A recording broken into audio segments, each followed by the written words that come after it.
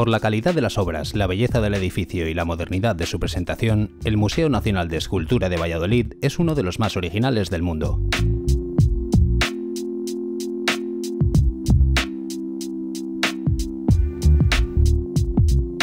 La escultura devocional realizada por los grandes artistas del Renacimiento y Barroco es una de las más relevantes señas de identidad de la historia española y lo más destacado de las colecciones.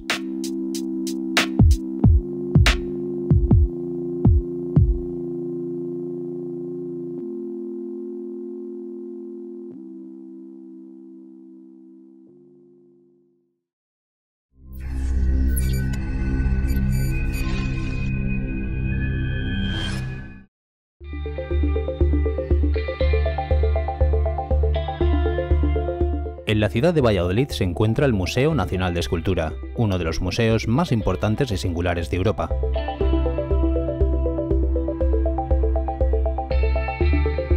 Emplazado en el corazón monumental de la ciudad, se extiende por la calle peatonal Cadenas de San Gregorio hasta ocupar tres de sus edificios históricos más representativos.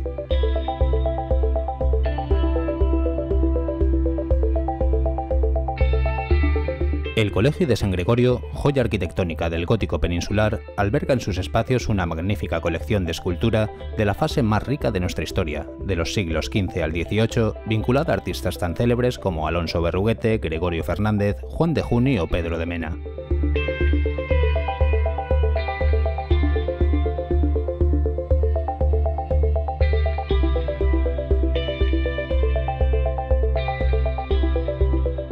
Frente al colegio, el Palacio de Villena, residencia nobiliaria del siglo XVI, expone un Belén napolitano del siglo XVIII con más de 600 piezas.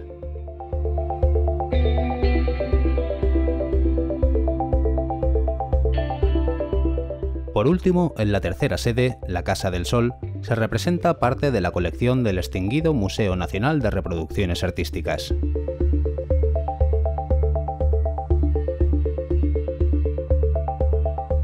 El Museo Nacional de Escultura es en su conjunto una colección única y sin duda una de las más importantes del mundo.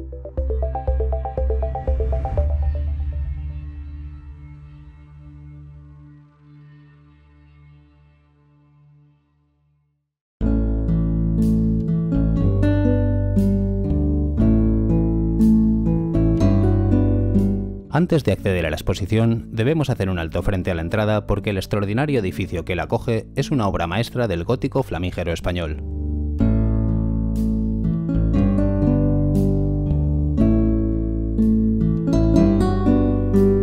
El Colegio de San Gregorio se construyó a finales del siglo XV y recoge toda la herencia del gótico más elaborado y ornamental, como vemos en el patio y sobre todo en su excepcional fachada.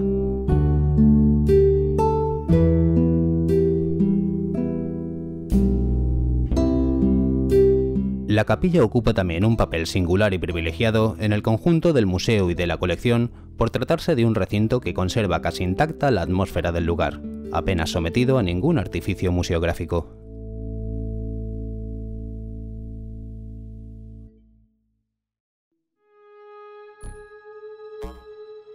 A continuación, accedemos a las instalaciones de la colección permanente del museo, 20 salas que muestran lo mejor de la imaginería española desde la Edad Media al siglo XIX.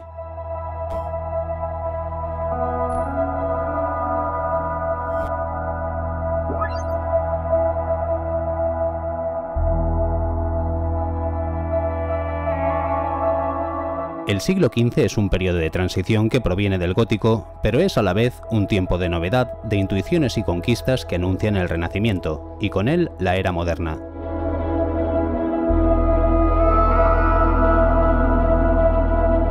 El arte de tema religioso abandona el trascendentalismo medieval y el lenguaje simbólico y se hace eco de la necesidad de una espiritualidad más subjetiva.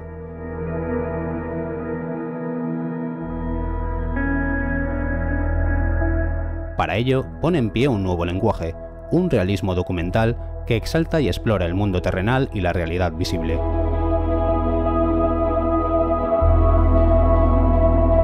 En esta época, Castilla es un centro de poder y de las artes donde llegan multitud de obras de distinta procedencia.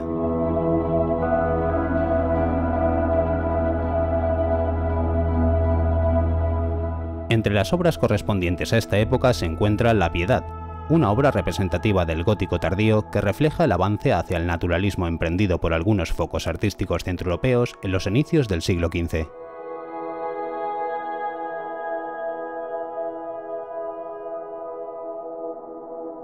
Al siglo XV corresponden también obras de las escuelas flamenca e hispano-flamenca, como el retablo de la vida de la Virgen, procedente del convento de San Francisco de Valladolid, el retablo de San Jerónimo, obra de Jorge Inglés, o la silla del coro de Rodrigo Alemán.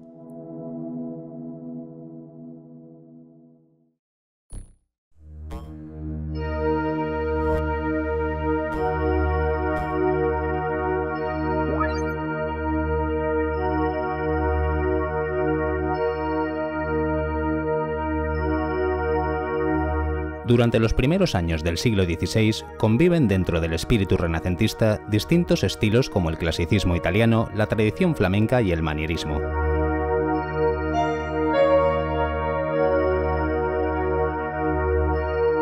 Dentro de la colección artística de este siglo se pueden contemplar el retablo de la Pasión de Cristo, obra de Fray Rodrigo de Holanda, la Sagrada Familia de Diego de Siloé o la Virgen con el Niño de Felipe Vigarni.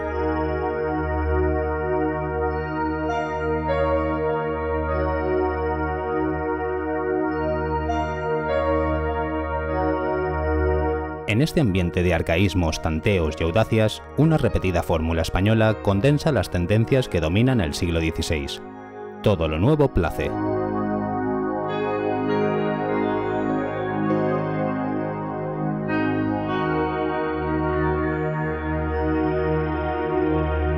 En dos espacios diferenciados del resto se expone parte de la producción artística de los dos autores más importantes del manierismo expresivo castellano del siglo XVI. Alonso Berruguete y Juan de Juni.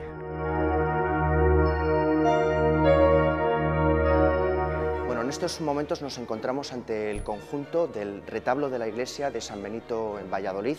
Las figuras, como vemos, eh, dan la sensación de estar desproporcionadas, eh, acuchilladas. Es particularmente expresivo este ejemplo, el ejemplo de la figura del, del abad una figura que eh, si observamos, por ejemplo, las proporciones desde la cadera hasta los pies en comparación con la eh, proporción de su cabeza o de las eh, manos, vemos que está completamente desproporcionado. Es más, mucha gente en una primera visualización del conjunto podría pensar que Berruguete no era un buen escultor. Sin embargo, nada más lejos de la realidad. Tenemos que pensar que este retablo tenía una altura de más de 15 metros y por tanto era una obra dispuesta y pensada para ser vista en altura. Esta escultura con fines devocionales ofrece aquella idea humanista del artista total donde se mezcla la escultura, la pintura en la policromía y también la arquitectura de los retablos, un conjunto fabuloso y singular de disciplinas.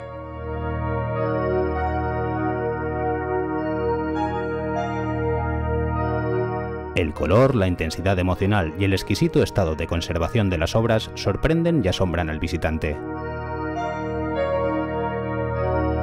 Todo se hacía con mucho cuidado y se seleccionaban las mejores maderas en el momento adecuado. Sobre ese buen soporte se adherían materiales y pigmentos de muy alta calidad como panes de oro y plata.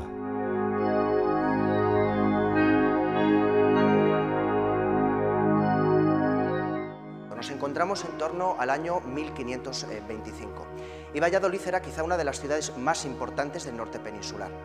Esto implicaba que la construcción de estancias palaciegas, iglesias, conventos, monasterios fuese muy notable. Una de las obras ejecutadas en este momento fue la sillería de coro de la iglesia de San Benito el Real de Valladolid.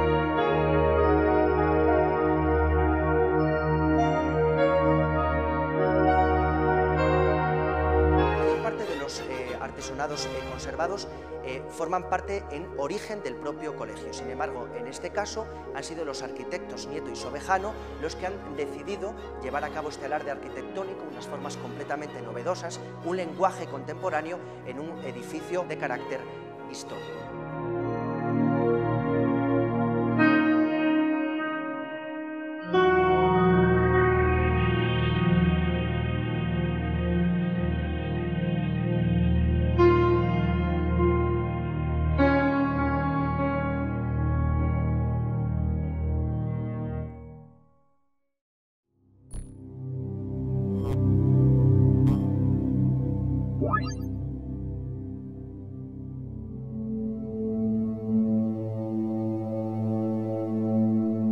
El siglo XVII es un siglo de conciencia de crisis, de decadencia y de aislamiento frente a Europa.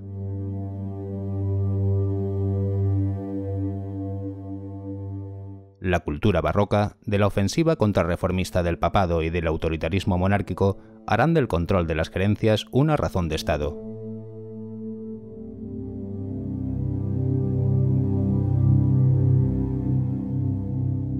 No es de extrañar, pues, que sea la Iglesia la que encargue las obras, imponga los temas y dirija el pensamiento.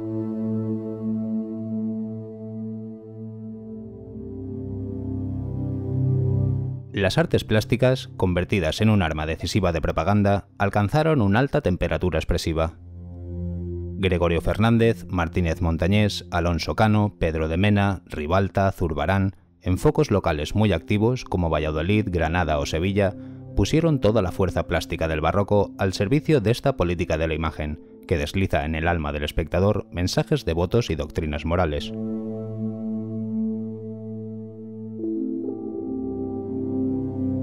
Los temas elegidos son el arrebato del éxtasis, las visiones celestiales, el suplicio sangriento, la renuncia mundana y sobre todo el patetismo macabro de la muerte, al que la estética barroca dio un despliegue violento, insólito y muy impresionante.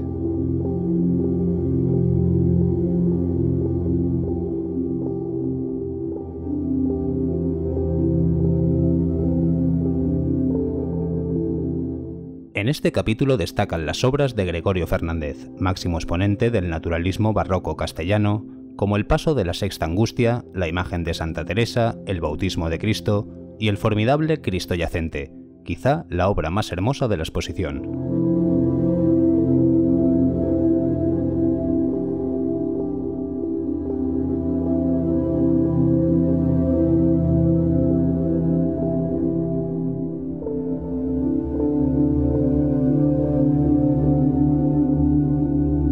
Se exhiben también obras de Alonso Cano, como el San Juan Bautista y el San Jerónimo Penitente, y de Juan Martínez Montañés, como el San Juan Evangelista, hasta llegar a la sala 19 donde espera una de las piezas más importantes del museo, la Magdalena Penitente de Pedro de Mena.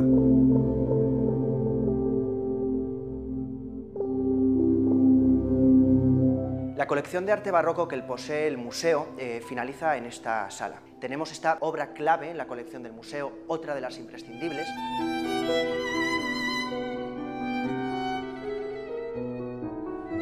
La Madalena Penitente de Pedro de Mena destaca el verismo que el propio crucifijo que sostiene esta Madalena eh, posee.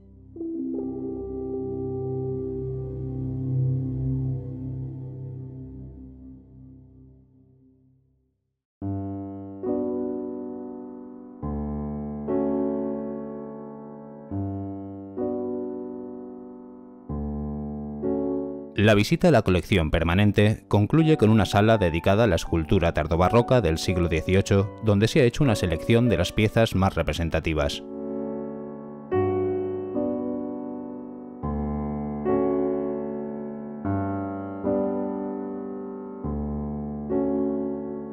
Se ven nuevas policromías, un cierto amaneramiento de las formas, acorde con el período rococó, e imágenes novedosas como la crucifixión de Santa Eulalia de Luis Salvador Carmona.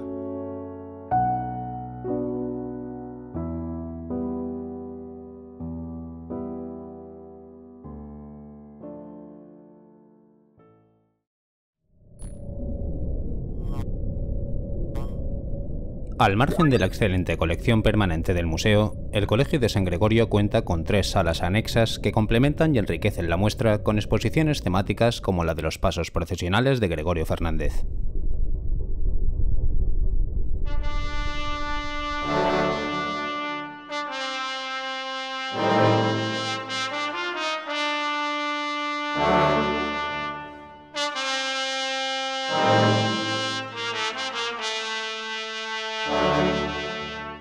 El Museo Nacional de Escultura custodia y conserva buena parte de la escultura procesional de Valladolid. Como un hecho singular museístico, desde 1922 accede al préstamo de varios conjuntos escultóricos a las cofradías de la Semana Santa Vallisoletana. En total son 104 imágenes procedentes de sus fondos las que integran los correspondientes pasos. Pues esa también es otra de las, de las peculiaridades de nuestra colección. ¿no? Un museo que, eh, que tiene piezas que durante todo el año se conservan con la temperatura y la humedad eh, perfecta y adecuada y que de repente una vez al año salen a la calle. Lo que hay que hacer es tener, como tenemos desde el museo, como intentamos tener desde el museo, eh, muchísima precaución, cuidar hasta el extremo esas salidas que funcionan como las de un préstamo temporal para cualquier exposición.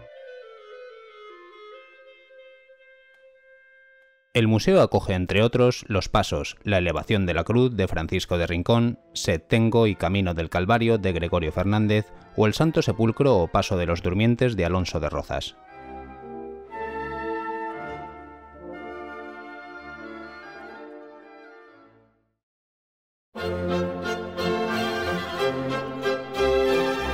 Frente al Colegio de San Gregorio se encuentra el Palacio de Villena, el segundo edificio que conforma el Museo Nacional de Escultura.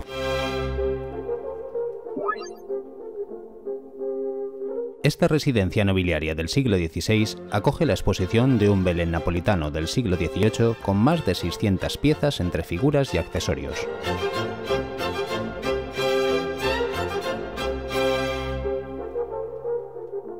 Los belenes son una manifestación católica iniciada en el siglo XIII que alcanza su máximo esplendor en Nápoles durante el siglo XVIII. Concebida como una compleja manifestación efímera, de frecuencia anual, se formó en torno a ella toda una actividad artesanal de gran riqueza e imaginación, muy enraizada en la promoción de las artes aplicadas por parte de los monarcas de la Ilustración.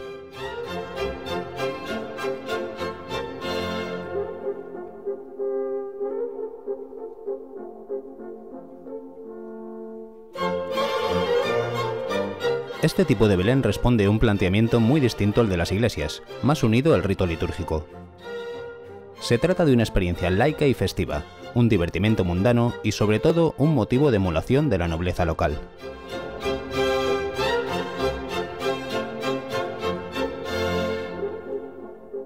Lo componen casi 200 figuras que abarcan toda la variedad de personajes y tipos. La Sagrada Familia, el coro angélico, los Reyes Magos y su espléndido séquito oriental de georgianas, turcos, negros, dignatarios, músicos y criados. Hay además pastores, burgueses atildados, artesanos, vendedoras, campesinos, cíngaros y mendigos.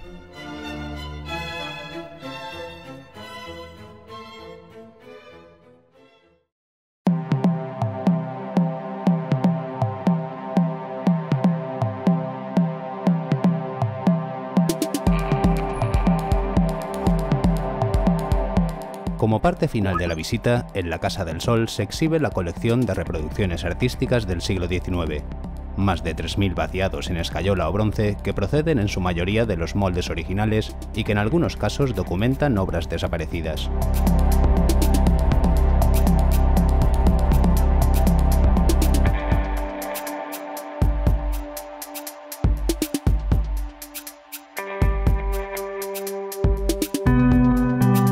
El Museo Nacional de Escultura de Valladolid alberga la colección de escultura en madera policromada más importante de Europa y exhibe algunas de las obras capitales del Renacimiento y el Barroco español.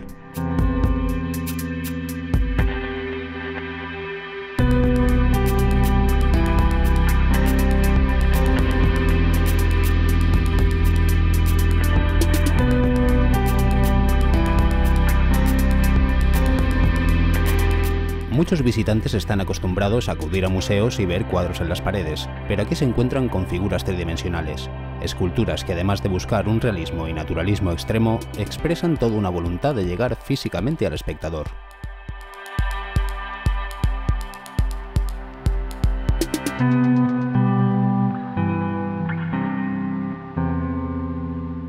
Cada año recibe una media de 200.000 visitas, una cifra importante pero muy inferior a la que merecería.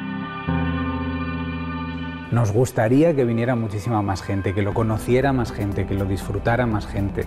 Realmente esto es la marca España, ¿no? Y esto es una de esas cosas que deberíamos de valorar todos y que, potenciar todo lo que pudiéramos, ¿no? Sería fantástico que la gente conociera más nuestro museo, Un patrimonio que por su calidad y amplitud de la colección merece la pena conocer para entender las claves del periodo artístico más importante de nuestro país, el siglo de oro, pero también para comprender el lugar de donde venimos y cómo hemos transformado la sociedad actual.